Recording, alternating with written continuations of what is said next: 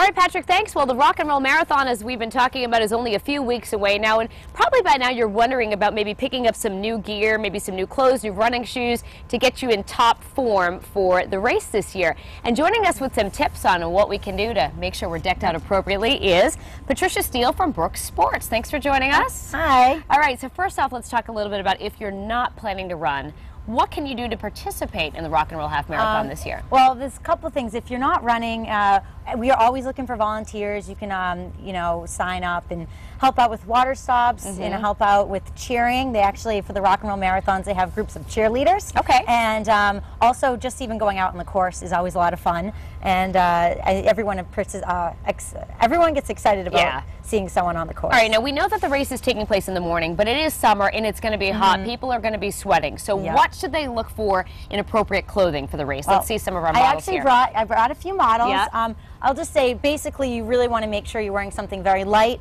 very breathable, and some moisture wicking. Mm-hmm. Um, we brought a few pieces. The piece that Chris is wearing is um, a Rev top, and this top actually has UPF 40 Oh, in it. really? So this Okay. is good for sun protection. Yeah. And especially when you're running and the sun's going to beat down on you, that it's it's really nice to have a little extra protection. And his shorts, um, you want to make sure there's a couple styles of shorts you can get. The shorts are very breathable material, Mm-hmm. but you have ones that have the mesh uh, boy shorts underneath and ones with the mesh briefs. Okay. So he has the boy short ones, and then Mike are the models wearing the briefs.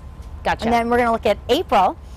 Is she's wearing um, a, sometimes in the you never know if it's going to rain or you know what the real temperature is going to be. So she has a really light jacket. It's called LSD Lite, and it actually it's nice and breathable. It's Mm. actually some ventilation in the back as well. You want to look for ventilation in Yes. any type of jacket you're wearing. Okay. Um, and there's also the water resistance um, is important as well. But hers, if you want to take off the jacket, um, it folds into a pouch Oh, if you don't need it. So you start the day, maybe it's a little chilly in the Yes, morning, yep. and it starts to rain. It actually folds into a pouch through this pocket right here. Okay, so great. just I always up like wondered about that. I know sometimes people Yeah. will like literally ditch their sweatshirt Oh, like yeah. on the side of the route. So that goes in so easy. Yes. Look at that. And wow. Mm-hmm. uh, if you do have something that you do throw away, they donate everything to Goodwill or to Yeah. charity, so you don't have to worry about that. And then for her top, again, like I said, the moisture wicking is very important. Mm. So this is an equilibrium short sleeve top, and you see the mesh paneling on the side Yep. makes it very breathable. And the reason you want to wear something moisture wicking is because if you wear cotton,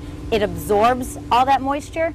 And then you're just going to feel wet, Yes. and you're going to feel heavy. So something like this stays dry and it feels nice and light. All right, what about some of the other things that they brought here on the table? I see an assortment of running sneakers here. So we brought a couple of types of sneakers. Mm-hmm. We brought shoes that are neutral shoes and shoes that are stability shoes. Okay. So um, if you need a little support in your running, and it's I always recommend going to a running store and having someone fit you. Yes. But you would see something like this. This is a we call a medial posting or stability piece in the shoe. Okay. So that's what you would look for, and these are our two. This is a trance and the Adrenaline. Those are good. This is highly cushioned, and then Mm-hmm. the neutral shoes. People that are um, don't overpronate would wear something like this. Okay. And then the other outfit I brought, I just want to show, it's a little skirt. I This love one that. Has the little shorts in it too. Yeah. We have a gripper right here, so that they don't end Ah, up riding up. That's then- always a problem when you're running. Always. It yeah. is, yeah. And then the back, you have a pocket and zip pocket, and that's Uh-huh. important. Pockets are really big when you come to running long distance because you need to carry ID. You Mm-hmm. Need, sometimes you need goo or um, some type of replenishment. Mm-hmm. So it's kind of nice to have more pockets, the better, I say. All right, well, you brought in a lot of great ideas, and we want to let everybody know thank you for sharing them with us. If people want to know more about how to find the right shoes, the right clothes for the race, or to even sign up for the Rock and Roll Half Marathon, head to foxprovidence.com.